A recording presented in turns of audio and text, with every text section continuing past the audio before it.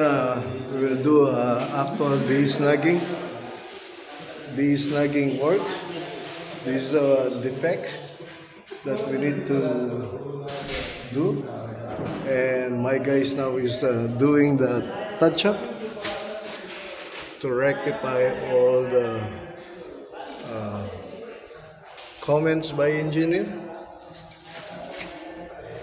This is one of my guys. And one guy is assigned for kitchen. He's doing now the kitchen unit. Yeah. He's doing the ki- kitchen. Rectification is ongoing now. This is the comment they need to close.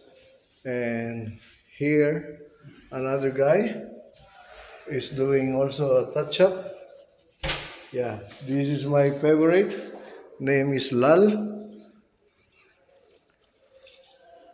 Now is uh, is also uh, rectifying the door frame. The door frame here is very hard because it's uh, not veneer, it's a uh, manual grain.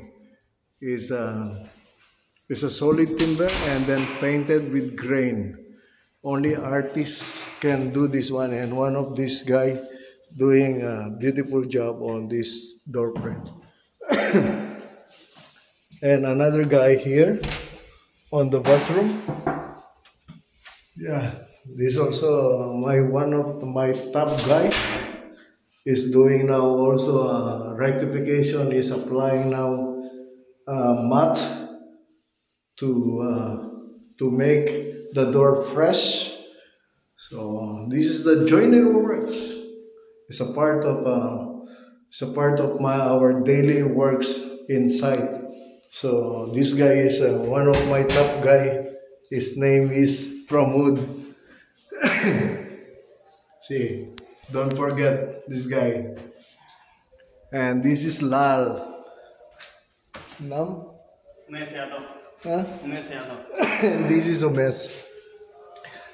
Only the problem here is the thinner the smell of thinner. See how artistic my my guy is uh, applying, applying and uh, applying the paint to correct all the impurities, all the defects.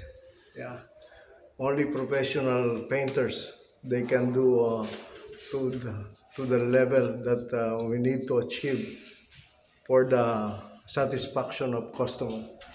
So this is a two bedroom apartment. So there's a attached but uh, attached bed uh, bathroom there and also wardrobe and here also there is a wardrobe here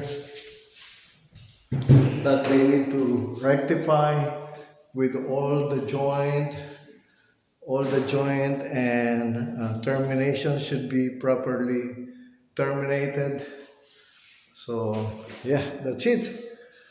This is the the one team that uh, doing here in uh, in this uh, plot